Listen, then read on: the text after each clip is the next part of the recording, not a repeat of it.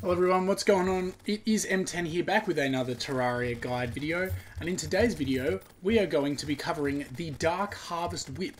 Now this is supposedly the best whip in the game and that is because you get it from the Pumpkin Moon event from killing pumpkins.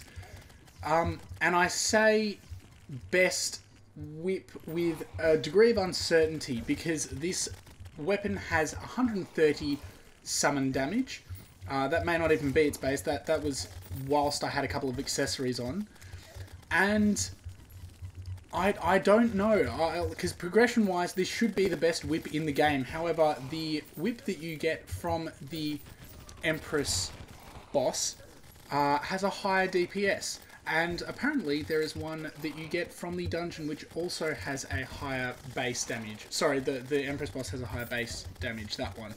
So I'm uncertain whether this is the best whip. So the Dark Harvest tooltip states uh, attack enemies with dark energy to gain attack speed, and enemies that are hit shoot dark enemy shards, as you could see coming off that uh, possessed armor there.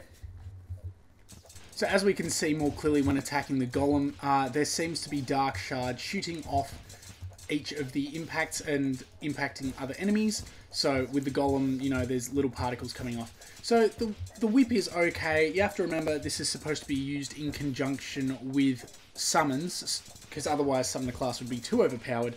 So the tooltip did say that uh, enemies struck um, by summons will radiate dark energy when hit with a whip or something like that.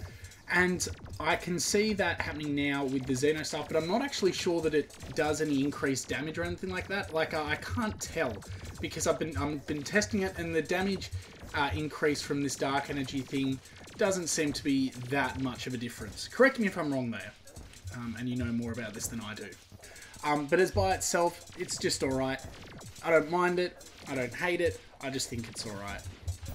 Anyway, I hope you enjoyed this video and learned something new. Thanks for watching everyone. I hope you have enjoyed this video. If you have, please make sure to smash that like button, subscribe, leave a comment down below, and click the playlist link on screen now to see all my other Terraria 1.4 guides.